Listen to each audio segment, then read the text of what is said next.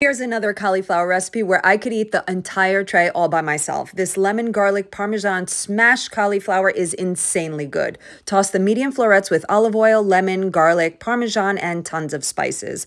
Roast for 20 minutes, flip, roast another 20. Smash and broil until crispy. Now love your life.